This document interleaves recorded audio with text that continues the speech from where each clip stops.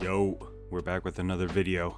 Uh, my name is Randy. I am a videographer from Orange County, California. The channel recently got some new subscribers, so let me just give you more of a background. I am a part time freelancer in Orange County, California. I have a full time job at a marketing firm. Um, have a wife and kids. So, you guys know how that goes. Juggling a full time job, part time job, and a family is a job in itself. You know, I, I wish I had the guts to go full time, but anyone with a family knows you can't just jump ship without a plan. I touched my first camera in April of 2020, uh, which was the Sony A6300, and immediately started hunting for jobs so I can upgrade to the next. After about four months, I was able to upgrade to the Sony A7 III. Currently working on my next upgrade. Uh, something I am interested in um, would be internal ND and also 10 bit color. So if you have any recommendations, let me know. Again, we're back at the Vietnamese bakery, capturing content for them to use on social media.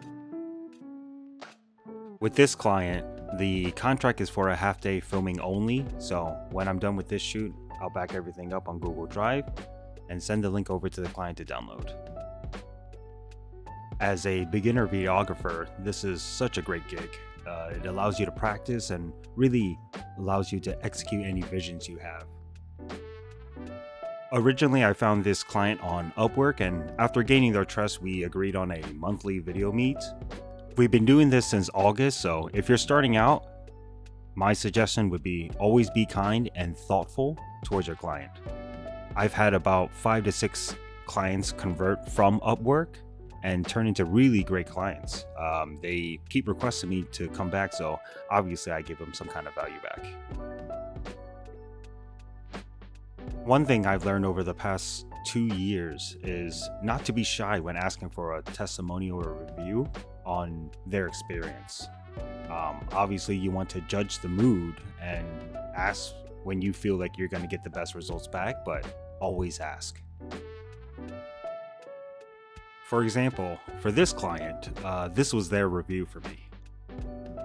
I had requested this right after they had told me exciting news of getting customers from other cities to come and try out their food, so I thought it was the best time to ask.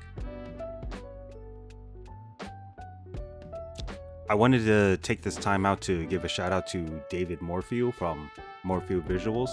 Uh, that guy really gave me the nudge to start doing these and just putting me into the habit of thinking of uploading to YouTube. So, shout out to him. Follow him.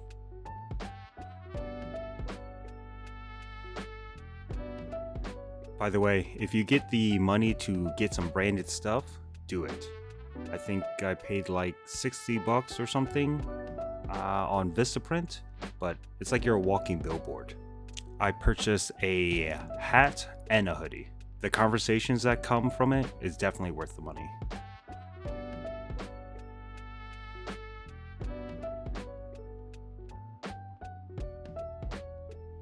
If you're ever recording these types of clips with a lot of potential movement in the foreground, just some advice use manual focus or toggle manual focus when you hit your subject.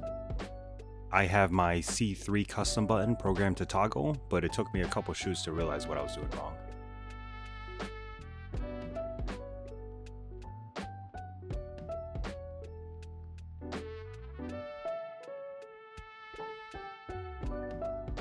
Hope you enjoyed this video. Uh, if you like this kind of content, please remember to like and subscribe.